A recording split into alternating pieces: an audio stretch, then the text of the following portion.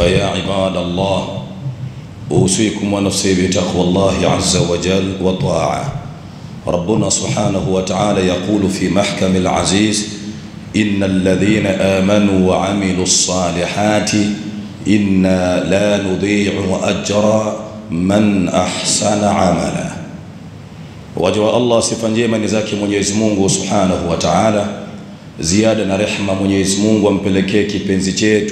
mtume Muhammadin salawatullahi wasalamun alayhi faya ibadallah enyi waja wa Allah usikum wa nafsi bitaqwallahi azza wa jalla wa ta'a. Na kuhusieni pia nami naihusia nafsi yangu juu ya kumwogopa na kumcha Allah subhanahu wa ta'ala lianna Allah shadidul iqab. Ndugu zangu waislamu tujue kwamba Mwenyezi Mungu ni mkali wa kuadhibu lakini na vile Mwenyezi Mungu ni ghafurur rahim pia Mwenyezi Mungu ni mwenye msamaha kwa waja wake. Rabbuna subhanahu wa ta'ala yaqulu fi mahkami al-aziz la yuakhidhuhum bima kasabu, lau kama Mwenyezi Mungu subhanahu wa ta'ala angeliyachukulia yale ambayo binadamu mnayoyafanya, la ajjala lahumul adhabu, hakuna kiumbe angelibakia hapa duniani. Manake Mwenyezi Mungu subhanahu wa ta'ala angeharakisha adhabu kwa sisi viumbe lakini vile vile Sayyiduna Ali anasema ma nazala bala'un illa bidhambi wama dufia anhu illa bitaubati, mabalaa katika dunia hayawezi kuondoka isipokuwa ni kwa yale sisi binadamu pia tunaomfanyia mwingi wa rehema ambaye ni Allah subhanahu wa ta'ala. Wama dufia anhu illa bitaubatin, na haya mabalaa katika dunia hayawezi kuondoka kama nyinyi Waislamu hamtomrejea Allah subhanahu wa ta'ala. Limadha la yuadhibuna Allahu subhanahu wa ta'ala, kwa nini Mwenyezi Mungu asituadhibu? Kwa nini Mwenyezi Mungu asitupi mazito kwa yale ambayo tunayoyafanya? wa kam min ibadillah wa kam wa kam min ibadillah, wangapi katika waja katika waja wake Allah subhanahu wa ta'ala yaabuduna ghaira Allah subhanahu, ambao wao wanamwabudu asiyekuwa Mwenyezi Mungu subhanahu wa ta'ala. Walimadha la yu'adhibuhum Allah subhanahu, kwa nini Mwenyezi Mungu asiwaadhibu? Liannahu huwal ghafurur rahim wa annahu huwa sabur, Mwenyezi Mungu ni mwenye msamaha na Mwenyezi Mungu ni mwenye subira kwa waja wake. Limadha la yuadhibuhum Allah subhana, kwa nini Mwenyezi Mungu asiwaadhibu waja ambao alladhina yabuduna ghaira Allah wa hatta ba'dhum wallahi yabuduna awra. Ukiangalia katika dunia kuna baadhi ya waja wa Allah mpaka utupu au uchi wanakwenda kuabudia kinyume chake Mwenyezi Mungu subhanahu wa ta'ala. Limadha la yuadhibuhum Allah subhana, kwa nini Mwenyezi Mungu asiwaadhibu? Liannahu huwa sabur Mwenyezi Mungu ni mwenye subira kwa waja wake. falaula kalimatun sabaqat min rabbika lakana lizamau wa ajalun musamma, lau kama si tamko lake Mwenyezi Mungu kutangulia na tamko lake Mwenyezi Mungu limetangulia ni lipi? Ni pale Mwenyezi Mungu aliposema inna rahmati sabaqat ghadabi, rehma zangu mimi Allah zimetangulia adhabu yangu. Na tamko lingine ni ile kutangulia uombezi wa Mtume Muhammad na uombezi wa Mtume Muhammad umepita sehemu mbili. Mtume sallallahu alaihi wasallam ameuombea umma huu duniani, alla yuadhibuna Allah subhanahu wa ta'ala, asituadhibu Mwenyezi Mungu katika hii dunia, na bado kuna uombezi mkubwa ambao utakokuwa siku hiyo ya Kiyama. Mabalaa yanayoteremka haya katika dunia yote hayo ni moja miongoni mwa mitihani yake Allah. ahasiba nnasu an yutraku an yaqulu amanna wa hum la yuftanun Msidhania kama nyi binadamu mtasema mmemuamini Mwenyezi Mungu na msiingizwe katika mitihani yake Allah Subhanahu wa Ta'ala. Mmoja katika maulama anasema kullu balai nazala alayka fi dunya yasir, kila aina la kila aina mtihani mwanadamu ukiupata hapa duniani jua mtihani huo ni mwepesi sana ibadallah. Wa kullu naimi duna aljannati alhaqir, kila aina ya neema mwanadamu uwe nayo hapa duniani, umiliki kila kitu, lakini hiyo neema itakuwa ni mbaya kama mwanadamu utaikosa pepo mbele ya Allah subhanahu wa ta'ala. Dhahdhah ibn Ausi mmoja alimwendea katika wanafunzi wake akamwambia, ya Dhahdhah ibn ibn Aus, akhbirna ma yushawiquna bihi ila aljannati. Ewe Dhahdhah ibn Ausi, emtueleze kwamba ni kitu kipi ukituambia sisi hicho kitu kitatufurahisha sisi na kupata shauku kwenda kuitafuta pepo ya Allah subhanahu wa ta'ala. Madha qala lahum, faqala fiha rasulullah, ndani ya pepo pia kuna mtume Muhammad. Fahadhihi ni'matun udma ibadallah, hii ni neema iliyokuwa kubwa sana kwenda kukutana na habibu na Muhammad sallallahu wasallam alayhi. Rabbuna subhanahu yaqulu fil khutbah ay khassan khutbah khutba yetu tunazungumzia ni nini ni pale Allah aliposema innal ladhina amanu hakika wale waliomuamini Mwenyezi Mungu subhanahu wa ta'ala. Waamilu salihati wakathibitisha matendo yao au wakathibitisha imani yao kwa matendo. Imani ya muislamu inathibitishwa na nini? Na matendo. Na ndio maana Abdullah ibn Mazanni akasema walaysa al-iman bitahalli wala bikamal walakin al-iman ma qarra fi qalbin wa sadaqtahu bil a'mal. Subhanallah imani ndugu zangu waislamu wallahi si mapambo. Imani kwamba labda mtu kavaa kanzu kubwa joho kama hili ukajiita kwamba eti ndio una imani sana? Au wewe kila siku kwamba ukivaa vilemba vikubwa ndio una imani sana? Au labda wewe ukafuga ndevu sana kuonekana wewe ndio imani una imani kubwa sana? Yawezekana ukafuga ndevu ukakata kanzu ukawa na bendera kubwa akawa hakuna mtu mshenzi duniani kama wewe. Wakam Wangapi katika waja wa Allah subhanahu wa ta'ala wanavaa mavazi, lakini hayo mavazi yao ndio wanakwenda kufanya ujambazi, wanaiba, wananyang'anya na kila aina mabaya. Al-imanu ma qarra fi qalbi, huu moyo wako ndio utaonesha imani yako. Wasadaktahu bil a'mal, yale matendo yako ndiyo atakuja kuthibitisha imani yako wewe kama kweli ni Muislamu. Na ndio maana Bi Aisha hinama suilat, alipoulizwa Bi Aisha, akhbirna anil akhlaqi nabina Muhammad, Aisha emtueleze kunako tabia za mtume.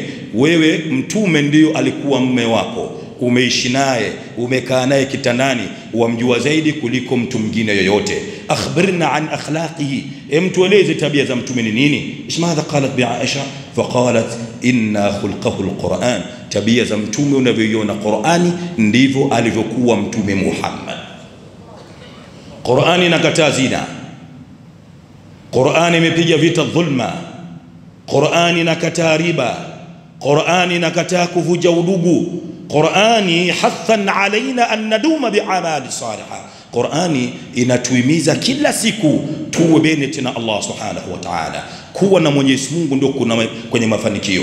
Kuwa na Allah. Hatuhitaji sisi kutumia nguvu kutumia kadha wa kadha kutumia silaha. Lakini tukiwa na Allah wallahi nusura tutaipata kwa Allah subhanahu wa ta'ala wa inna jundana lahumul ghalibun jeshi la Allah ndilo lenye kushinda انظر اخواننا في فلسطين tazama ndugu zetu wa Falastini kam min alqumbulat wal masakhir angalia kwamba makombora yanayopigwa mabomu yanayopigwa wallahi ukiangalia ukimte siku moja nimekutana na balozi wa Falastini ananambia yale mabomu yanayopigwa Hiroshima yaliyopigwa Hiroshima miaka hiyo wanasema ni Nelson ni nusu ya mabomu yanayopigwa ndani ya Falastini kwa nini watu watu wasio wamekwisha hawa watu imani zao ni thabiti kwa Allah wa inna jundana lahumul ghalibun jeshi la Allah lipo katika nini katika ulinzi wake Allah subhanahu wa ta'ala Dr. Muhammad An-Nabalis aywa hafidhahullah anasema idha kana Allah ma'aka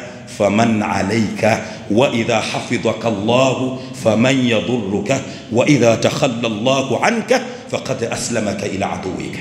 هل ملين مزيد سانا وإسلام الله كيو نويوي ناني أم بين إيزا كماليزا كوانيني تايفا لفلسطين بكالوليسيشي لأنهم وسبب هو وات وهو بموجنا الله سبحانه وتعالى. إن الذين آمنوا وعملوا الصالحات.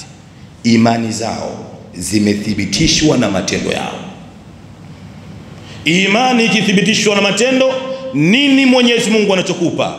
Rabbuna subhana yaqulu madha inna la nudhi'u ajra man ahsana amala. Hakika sisi hatutopoteza malipo kwa kila atakayefanya vizuri. Unaona ahsan هي اسم التفضيل. وكرجية كسورة الملك إيش ماذا يقول سبحانه؟ الذي خلق الموت والحياة ليبلوكم أيكم. ماذا؟ أحسن عملا. نكون ما تندو ميمات وندي يانجا نكون ما تندو مزوري. وندي يانجا ndio maana Allah Subhanahu wa Ta'ala anasema anasema ndani ya Qur'ani vipi? Mwenyezi Mungu Subhanahu wa Ta'ala anasema almalu walbanuna zinatul hayatid. والباقيات الصالحات خير عند ربك ثوابا وخير عملا. الله. يسمك اسم المال مال. والبنون نواتوتو الإمام الشعراوي رحمه الله أنا سمك تفسير هي آية قدمت المال على البنين. إمتنقليز ومالي على البنين كواتوتو. المال والبنون.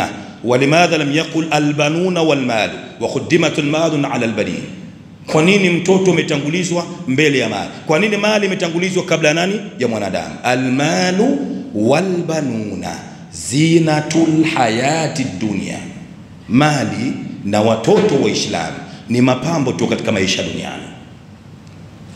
Leo mali ipo, kesho hakuna. Mmoja katika wasemaji asema, wala tajmaa min almali, usikusanye wewe mali nyingi mwanadamu, mali hiyo ukajiwekea wewe ikawa nyingi sana kwa nini? fa innal mala, hakika mali hii mali unaiona wewe ina kanuni mbili, imma mali ikaondoka ikakuacha wewe fakiri, au wewe ukafa ukaiacha mali, itarithiwa na wale watu ambao ulikuwa hutarajiwi. Yawezekana mtaani kuna kijana alikuwa unamchukia, humpendi, na ndiye ambaye akaenda kulalia kitanda chako cha thamani. Almalu walbanuna, qudibat almal, imetangulizwa mali, mwanadamu kacheleshwa. Kwa nini? kwa sababu kwamba inna likulli linsani yamliku lmala, kila mwanadamu anamiliki mali. Ile fulana yako au t-shirt yako umenunua shilingi hamsini au umenunua elfu moja ile ni mali. Hii kanzu yako ulevaa ni nini? Ni mali. Kwamba masufuria yako nyumbani ni nini? Ni mali. Pia hata mke wako ni mali yako. Hukumwoa mke isipokuwa ulilipa mali ndio ukapata mke. Walbanuna, watoto hibatu min Allahi subhana watoto ni zawadi yake kutoka kwa Allah subhanahu wa ta'ala.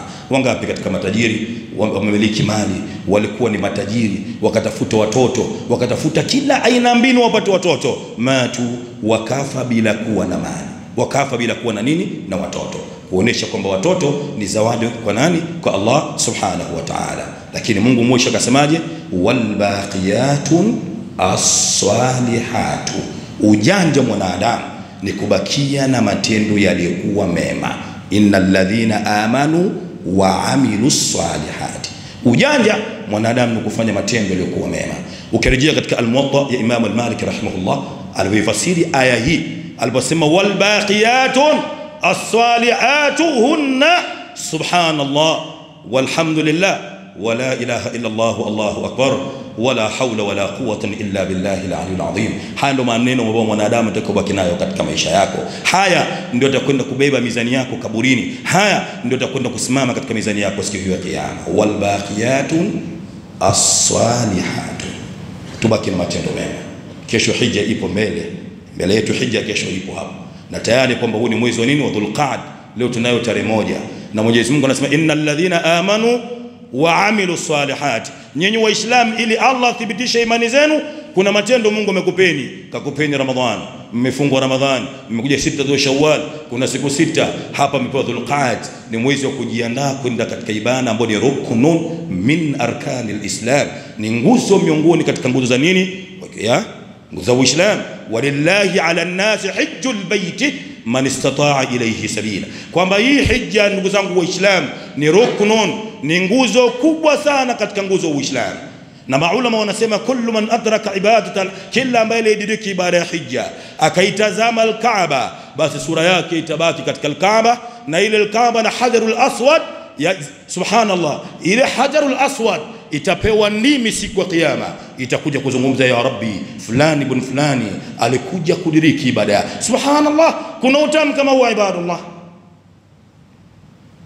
Lile jiwe la hajarul aswad umelitazama, litapewa ndimi siku ya Kiyama, litakuja kutoa ushahidi wako wewe katika ibada yako. Sasa fahanian alaikum ibadallah, lazima tufanye jitihada, kwa sababu ibada iliyokuwepo mbele ni ibada kubwa sana, na ibada ilikuwa nzito, na ndio Allah akasema faman kafara, yule ambaye atakayeipinga. Alkufru lais alkufru maana huna kufru imekuja katika sehemu hii, sio kufrun ala maana al-i'tiqad kuna yule mtu ambaye anaweza akaikufuru ibada ya hija kwa zile neema alizokupa Allah, ukashindwa kuzitumia katika yale ambayo ma yuhibbuhu Allah subhanahu wa yarda, katika yale ambayo Mwenyezi Mungu anayoyapenda na yale ambayo Mwenyezi Mungu subhanahu wa ta'ala anayoridhia.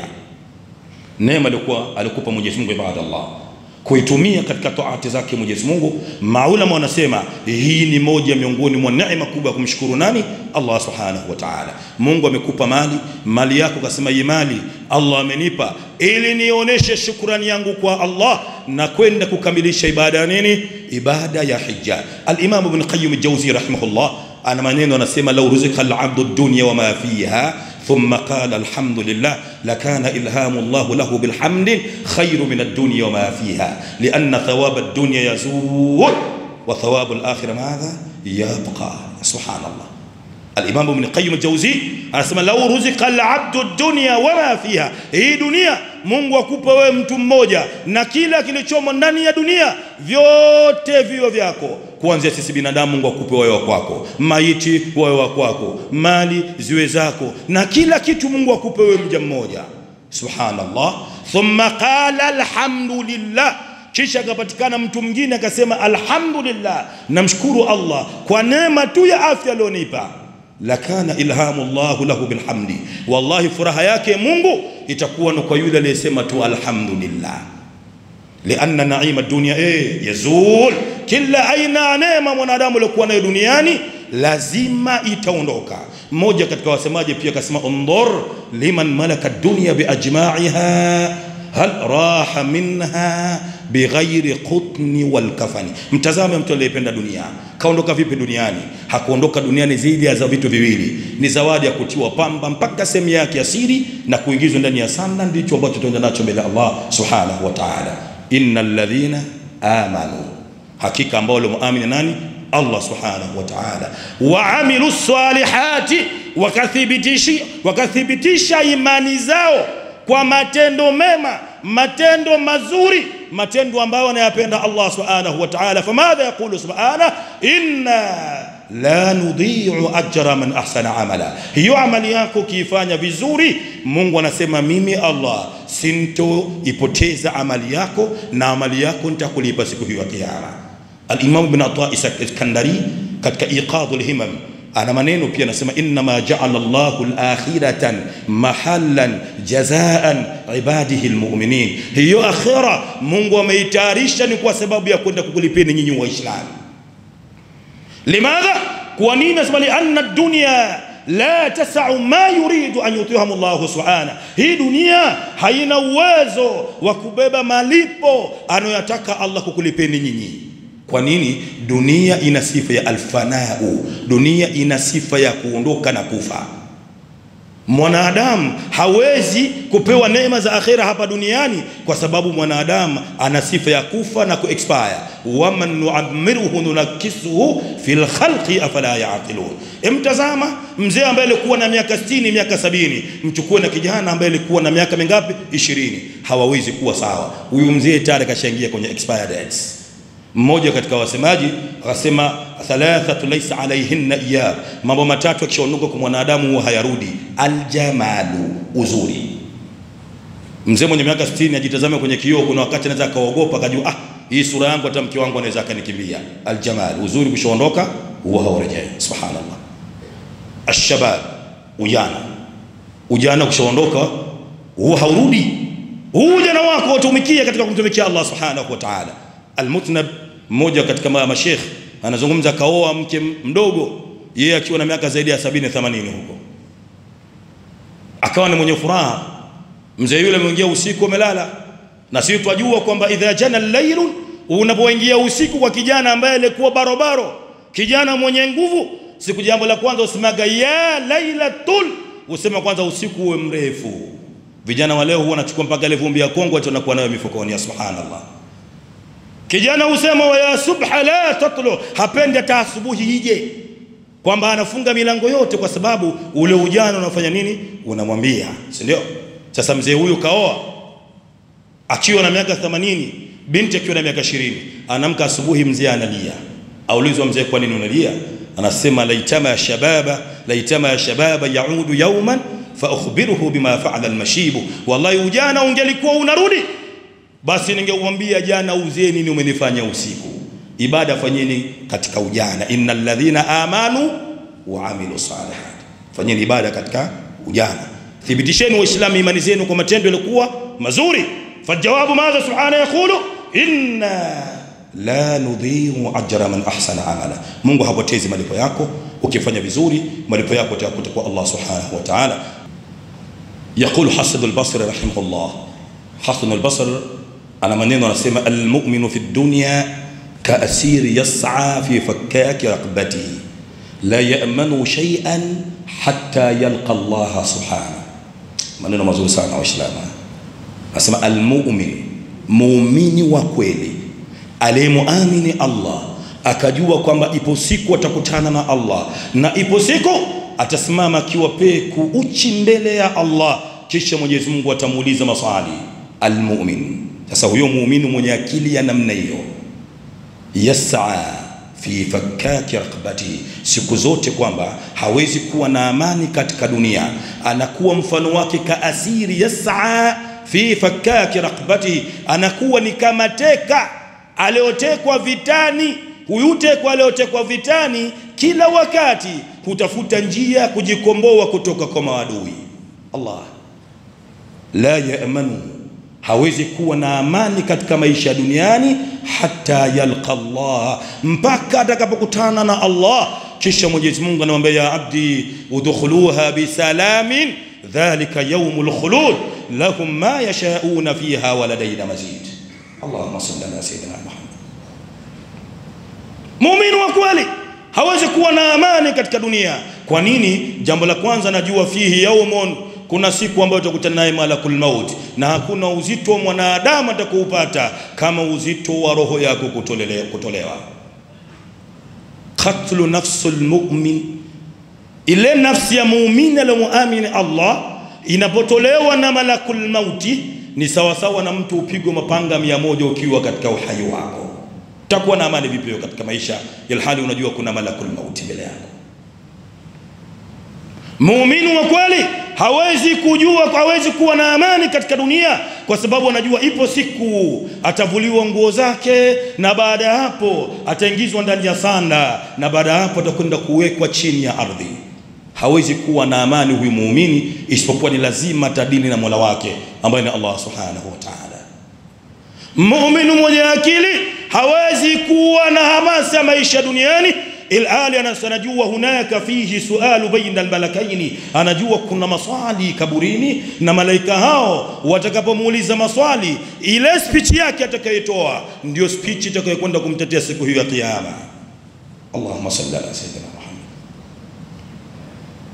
Almu'min muumini mwenye akili siku zote hawezi kuwa na amani katika maisha duniani, ila hali ajua kuna hisabu mbele ya Allah subhanahu wa ta'ala. laqad ahsahum wa addahum adda in kullu man fi samawati wal ardi illa ati arrahmani abdan, kwamba anajua matendo yangu yote, zile zina zangu nilizozini kuanzia miaka ishirini ninazo. Utakuwa na amani vipi katika maisha yako? Almuminu la yamanu. Hasan Basri huyo muumini hawezi kuwa na amani katika maisha haya duniani. Kwa nini? Anakuwa mfano wake kaasiri yas'a fi fakaki rakbatihi, anakuwa kama teka au aliotekwa vitani. Teka aliotekwa vitani hawezi kuwa na amani. Waislamu ajua muda wowote na hukumiwa kuuawa.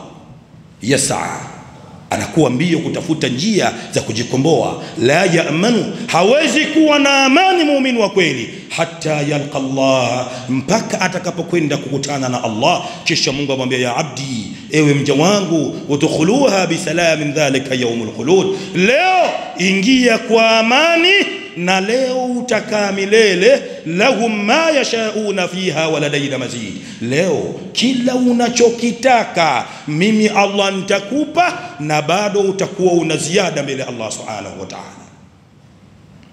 innal ladhina amanu wa amilu salihati, ndio hotuba yetu kwa Muislamu. Imani yako thibitisha kwa matendo yako.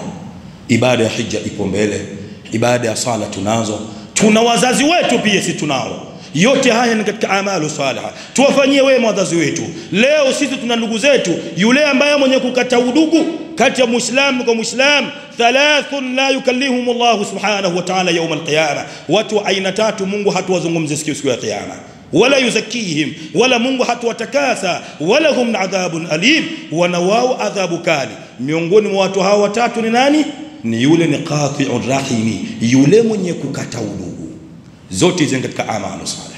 Tuunge udugu wetu, tupendane Waislamu, tuwe na itisam, tuwe tuna umoja, annaduma biamali saliha. Tudum katika matendo mazuri, matendo ambayo Mwenyezi Mungu Subhanahu wa Ta'ala atayapenda, na matendo hayo itakuwa ni sababu ya sisi kupata ridwanullah, kupata radhi zake Allah Subhanahu wa Ta'ala. Mulkhasul khutba, innal ladhina amanu wa amilu salihati, wale ambao wameamini Mwenyezi Mungu wa amilu salihati, wakathibitisha imani zao kwa matendo yao malipo inna la nudhi'u ajra man ahsana amala, Mungu hatupoteza malipo kwa kila atakayefanya vizuri. Tukazungumza hapo mwanzo, limadha la yuadhibuna Allahu subhana, kwa nini Mwenyezi Mungu asituadhibu katika dunia hii, alhali sisi kila siku tunamkosea Allah, tunamfanyia mabaya Allah subhanahu wa ta'ala. Tukasema rabbuna subhanahu as-sabur, Mwenyezi Mungu ni mwenye subira. Kwa nini? Kwa nani? Kwa waja wake. Lau Mungu angeliachukulia yale tunayofanya sisi binadamu basi hata hayo tunaona uko inatokea ya mvua kila kitu, mbona ingekuwa nipati gazeti, nani angebakia katika mgongo wa ardhi huu? إنما نحن عندنا ضمانة من رسول الله. متومي صلى الله عليه وسلم. علي قولي na pale Allah akamwambia, ya Muhammad, inna, hakika sisi hatutowaadhibu watu wako na wala hatututeremsha adhabu. Mangapi tunafanya makubwa na mazito. Leo tumehalalisha mpaka ndoa za wanaume kwa wanamume. Kuna dhambi nzito kama hiyo, ibadallah. Leo utaangalia kwamba biashara ya wanawake kusagana imekuwa ni kubwa na inakwenda mbali zaidi. Limadha la yuadhibuna Allahu subhana, kwa nini Mwenyezi Mungu asituadhibu? Tukasema walaula kalimatun sabaqat min rabbika lakana lizama wa ajalun musamma limetangulia tamko lake Allah subhanahu wa ta'ala. Tamko lake ni lipi? Mwenyezi Mungu subhanahu wa ta'ala, huruma yake imetangulia ghadhabu yake, na pia tamko limetangulia kwa Allah ni, ni lipi? Ni Mwenyezi Mungu kutua dhamana kwa sababu ya Mtume Muhammad, na la tatu ni sisi kufanya wingi wa kutaka msamaha kwa Allah subhanahu wa ta'ala. ma nazala balaun illa bidhambi, bala haliji duniani ni madhambi mtakayofanya nyinyi Waislamu wama dhufia anhu illa bitaubati, mabalaa hatuwezi kuyaondosha kwa kusema ah, bwana wale waliopata adhabu hizo za maji kadha wa kadha, poleni. Ah, ah, lazim ni lazima tuwahimize warejee kwa Allah subhanahu wa ta'ala, na sisi pia tumrejee nani? Mwenyezi Mungu subhanahu wa ta'ala. inna Allaha wa malaikatahu yusalluna ala nabi يا أيها الذين آمنوا صلوا عليه وسلموا تسليما. اللهم صل على محمد وعلى آله محمد كما صليت على إبراهيم وعلى آله إبراهيم وبارك على محمد وعلى آله محمد كما باركت على إبراهيم وعلى آله إبراهيم في العالمين إنك حميد مجيد. وارض اللهم عن الصحابة الجليل منهم سيدنا أبا بكر الصديق وسيدنا عمر بن الخطاب وسيدنا عثمان بن عفان وسيدنا علي بن أبي طالب وعلى سائر صحابة نبينا محمد صلى الله عليه وآله وآله وسلم. اللهم عز الإسلام والمسلمين وأذل الشرك والكافرين وأعلي كلمتك إلى يوم الدين. اللهم انصر إخواننا في فلسطين. اللهم انصر إخواننا في فلسطين. اللهم انصر إخواننا في فلسطين. واجعلهم نسرا عزيزا يا ذا الجلال والإكرام. إنك على كل شيء قدير.